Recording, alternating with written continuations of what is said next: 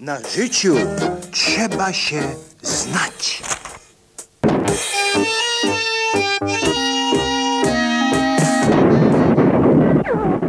No cóż człowiek ma robić na wczasach, kiedy furt pada deszcz i deszcz mokro? Wiedziony zatem ciekawością życia, chciałem przeprowadzić pewien, pewien naukowy eksperyment.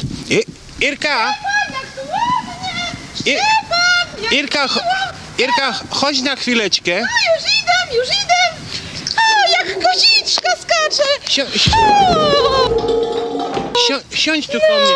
Słuchaj, ty, ty wiesz, że, że jak na przykład człowiek dobrze się odżywia, je, je mięso, je anaboliki różne, y, sterydy, ty, wiesz w co on się zamienia? Że on się potrafi zamienić... Drzewo! Nie w dzieło, on się zamienia w atletę z porośnięty mięśniami. Ja, ja właśnie sobie tak myślę, wiecie, bo nie ma co robić. W końcu do obiadu jeszcze zostało na stołówce dwie godziny. Słuchaj Irka, czy, czy ty byś zjadła trawę? Mnie, mnie to strasznie interesuje, co się z człowiekiem dzieje, jak zje trawę. Zjesz trawę?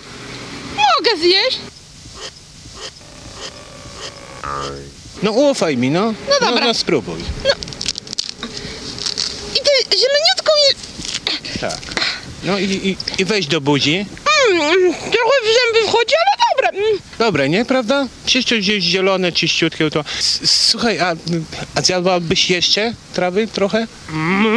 Dobre, prawda? To nic takie... Mm, No, no, no, dawaj, dawaj. Patrz, jeszcze pan to. wygodnie mi na czterech łapach.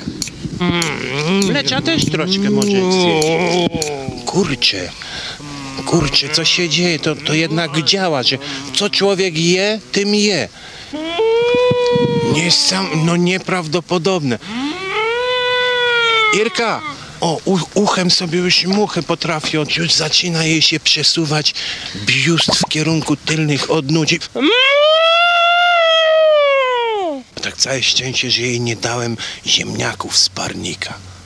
No dobra, Irka, nie martw się nic. Ircia,